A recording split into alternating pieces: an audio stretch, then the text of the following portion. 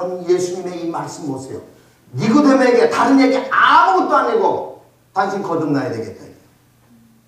자기는 구제를 많이 하고 돈 많아서 자선하니까 자기는 거듭날 필요가 없는 사람으로 계산하고 살았어. 니고데모는. 그런데 예수께서 천내기가 당신 거듭나야 돼. 여러분 자, 자존심 얼마나 구겼을까? 그러니까 니고데모가 하는 말이 안 읽어와서 더러워서 나온 말이 아니 엄마 뱃속에 어떻게 들어갔다 나옵니까? 그걸 몰라서 물어보는 게 아니에요. 그걸 비꼬는 말을 했어요.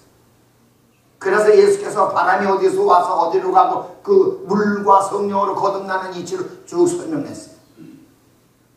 니고데모는 아 이게 이거구나. 저게 저거구나. 그러다가 예수께서 무슨 말씀까지 해요? 모세가 광야에서 뱀을 든 것 같이 인자도 들려하리라는 말을 했어요. 그것이 처음에 무슨 말인지 몰랐어. 그러다가 니고데모의 마음에 아 성령이 관통하니까 아 이게 그 말이구나. 예수께서 십자가 달려 돌아가시면 되겠구나. 그래서 비로소 깨달았어. 니고데모는요 3년 동안 성경책 가지고 교회 나간 적이 없습니다. 그래서 아무도 교인인 줄 몰랐어. 아무도. 그러나 속에서는 자꾸 교인이 돼갔어.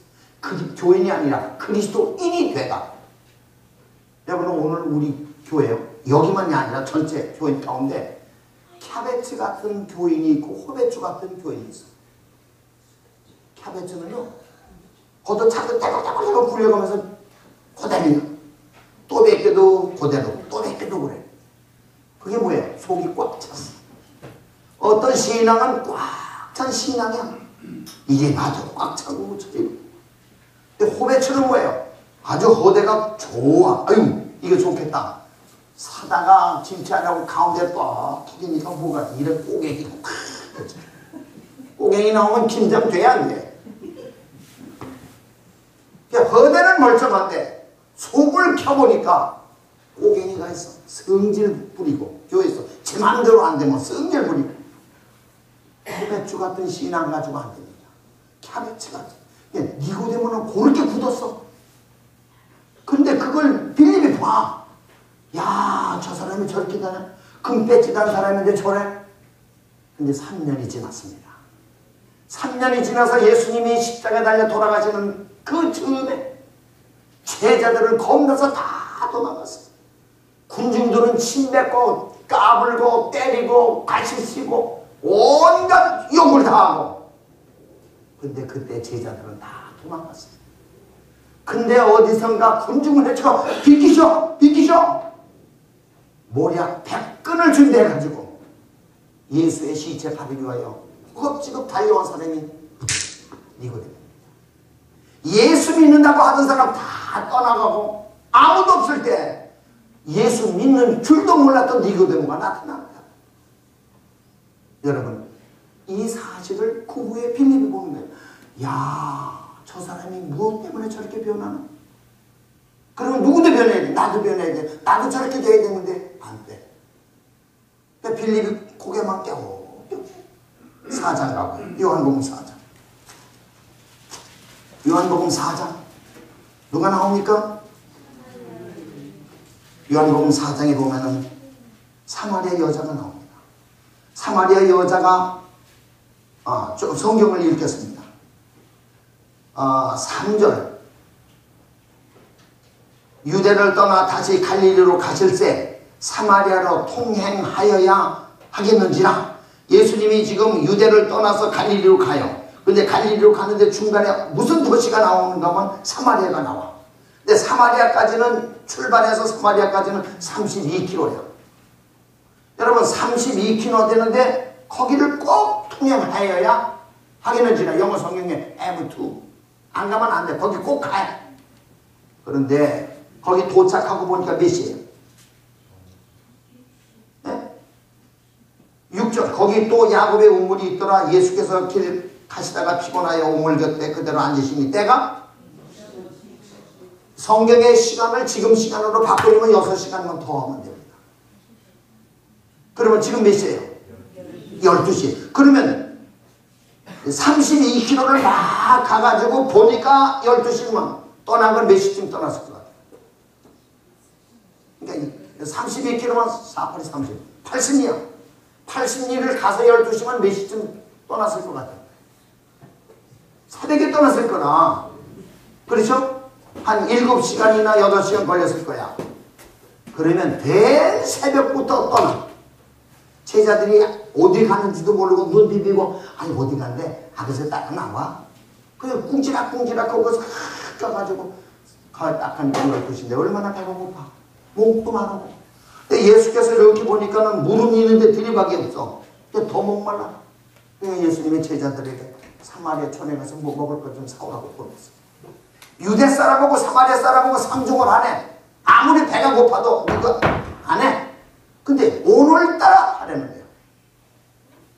그래서 제자들이 살아갔습니다. 그런데 12시쯤에 누가 나와요? 사마리아 여자가 물길 동이를 이고 근데 동이를 이면은 보통 이렇게 반듯하게 이어야지 이렇게 예? 근데 여기다 입서 흔들흔들하니까 물동에 이고 오는 꼴을 보니까 벌써 알만해 이 어떤 여자인지 알만해 그래서 여기다 입고 뭐 흥얼거리고 하다가 거기다 놓고서는 다 물을 깃고 이제 이고 가려고 하는데 아주머니 그러니까 어머나 보니까 유대 남자야. 얼마나 기분 나빴을까? 여보셔 예, 물 달라고 그러는데 여보셔 유대 남자가 인기척이라고 하고 있어야지 은큼하게 시 얼마나 쏴붙여. 예수님이 망신을 당하면서 아주머니 물 좀 주세요. 그러니까 아주머니가 물 주겠어요? 안 주겠어요? 기분이 나쁜데. 물줄 마음이 없어. 그냥 가려고 그래요. 그러니까 예수님이 내가 주는 물을 먹으면? 내가 주는 물을 먹으면? 다시는 물길로 올 필요 없다. 목마르다 야 다시는 물길로 올 필요 없다. 요 말에 귀가 번쩍한 거야. 여러분 물길로 오는 건 보통 시골서 언제 길로 와요? 아침 일찍이 길어서 그거 가지고 밭에서 내게서 읽고 내보내야지 그럼 12시에 물길로 오는 여자는 어떤 여자예요? 참 여러분 이 여자는 가슴 맺힌 한 맺힌 여자입니다. 아침에 일찍 물길로 갔어요. 전에 가면은 여자들이 우물가에 앉아가지고 아니 지난번에 그 남자 어떤 남자야? 뭐 찍고 까부르는 얘기가 우물가에서 다 깨져. 그러니까 여자들의 그 얘기가 듣기 싫으니까 이젠 물길러 가야 되는데 이렇게 내다보고 어머나 저 여우 같은 여자있네. 그리고 돌아더라 돌만큼 있다 내다보고 어휴 저 개떼엄마 또 있네 그래 가지고 사람 있나 없나 그거 확인하다가 12시가 되니까는 다 들에 나가고 없어. 이제 내 세상이다. 그리고 콩나를 부르고 아무도 없는 줄 알고 그래서 물 길러 가는데 유대 남자가 물 달라고 인기척도 안 하고 그래서 쏴붙이고. 근데 예수께서 아주머니 내가 주는 물을 먹으면 다시는 목말르지 않아. 물길로. 뭐 어떻게 하면 물길로 올 필요가 없어요 네? 우 물가에 어떻게 하면 물길로 올 필요가 없어 목마르지 않는 게 아니라 집에 하수도 아니 상수도 놔두면 되잖아.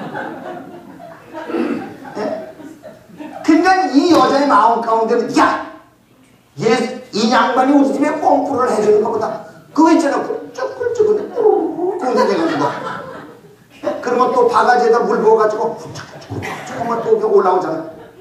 그럼 보셨어요? 예. 그러니까 이 여자가 물 길러 올 필요가 없다. 그래 내가 물 한번 기르려고 하면은 그렇게 사람들 눈치 보고 있나 없나 그 내다보고 또 들어왔다. 내다보고. 근데 얼마나 좋은지 말이야 그래서 우리 식으로만 아저씨 그 물 좀 주세요. 예수님이 뭐라고 해요? 물 줄 테니까. 물 줄 테니까? 내 남, 남편 되보라. 하, 여러분 생전 알지도 못하는 유대 남자에게 내 과거에 대해서 말할 마음이 있어요 없어요 없어 그러니까 쏴붙이기를 저 남자 없어요. 남편 없어요. 그러고 끝날 줄 알았더니 예수님 뭐라 그래요? 당신 전에 다섯이 있어서 지금 있는 남편도 아니야? 아, 이 여자가 말해요. 내가 노란한 남자의 수까지 아는 이, 이, 이 사람이 누구야? 예? 내가 노란한 남자의 수까지 파악하고 있는 이 남자가 누구냐? 갑자기 하늘이 빙빙 도는 거에 벌써 주저앉고 싶어. 예? 여러분이 아무도 모르는 줄 알고 태평시 이렇게 우물가에 나왔다가 그 장면을 목격할 때 얼마나 놀랐을까? 그래서 이 여자는 이제 도망가고 싶어. 그래서 도망가는 마음 도망가는 게 뭔가 하면 야 이 대화를 바꾸자. 그래서 아 당신네들은 예루살렘에서 예배 드린다면요 우리는 여기서 예배 드리는데 어디서 예배 드리는 게 좋습니까? 예배 분야를 싹 벌려서 성경. 그랬더니 예수님이 여기서 예배 드리라 여기서 하라. 그러지 않고 예배는 여기도 말고 저기도 말고 신령과 신정을 해야 핑계 낼 게 없어. 이 여자가 이제 도망쳐야 되는데 도망칠 수가 없어. 예수께서 말씀하시기를 내가 주는 물을 먹으면 목마르지 않는다. 다시는 물 길러 올 필요 없다. 그때 여자가 깨달은 것은 이분은 보통 사람이 아니고 이분은 보통 사람이 아니구나. 그래서 아 내가요 선지자가 온다고 예언을 했는데 선지자가 오면은 내가 속 아픈 그 얘기를 다 하겠습니다. 가슴 아프고 한맺힌 얘기를 내가 다 하겠습니다. 그랬더니 그 남자가 뭐래? 너와 얘기하는 내가 그러다. 우물가에서 잠시 동안 만났던 그 남자가 선지자라니. 그것이 바로 구세주라니. 이걸 발견하던 마다 이 여자가 물동이를 버려두고 동네에 막 들어가. 그때 누가 왔어요? 그 동네 들어가기 전에 누가 왔어? 제자들이 와서 다 봤어. 빌립도 봤어. 어머나 저런 여자가 어떻게 예수님 보고 말하더니 물동에 버려두고 동네를 들어가래. 근데 빌립의 마음 가운데는 뭐예요? 그게 믿어지질 않아. 빌립이 제자인데. 그런데 불신자는 회개하고 예수 안으로 들어오는데 교회 안에서 오래 믿던 사람은 회개하지 않고 밖으로 나가. 똑같은 이지. 그러기 때문에 우리가 그리스도를 받아들인다고 하는 것은 진정으로 내 마음에 받아들이지 아니하면 그 꼴된다. 그래서 요한복음 4장의 그 장면을 보면서 빌립이 뭐라 그래? 아, 나는 왜 저렇게 안 되나? 나는 왜안 되나? 요한복음 5장 봅시다. 요한복음 5장으로 넘어가겠습니다. 요한복음 5장에 누가 나옵니까? 제가 어제 잠깐 동안 말씀드렸죠? 베데스다 양문 곁에 누가 나와요? 38년 된 환자가 나옵니다. 안정병이요. 생전 걸어보지 못했어요. 근데 예수께서 무슨 말씀을 해요? 자리를 들고 일어나라. 안진뱅이가 말이야. 아유, 대개 누구신지 모르지만 저기 축구하다 뛴 게 아니라 나서부터 걷지 못합니다. 이게 안 됩니다. 그러는 사람이 벌떡 일어나서 걸어. 빌립이 이상하다. 저게 쇼였나? 어떻게 저렇게 걷지? 자기가 제자면서 그게 받아들이질 않아. 참, 여러분, 내가 교회 목사이면서 신자만 못하고 장로이면서 신자만 못한 사람이 얼마나 많아? 신자는 순수하게 받아들이는데 목사, 장로, 집사 안 받아들여. 이론적으로는 바삭하게 알면서 여기 받아들이질 않아. 그래서요, 머리하고 가슴하고 여기 길이가 얼마나 돼요? 사람에 따라서 좀 다르지만. 요몇 센치나 될 것 같아, 보통. 한 30cm. 요 30cm 내려오는데 10년도 걸리고 20년도 걸려. 여기는 바삭하게 세 천사의 기별이 뭐고 2300주야까지 아는데 요리 안 내려. 네? 참, 요 30cm가 그렇게 시간이 많이 걸릴 줄은 누가 알았어요? 언제 아느냐? 여러분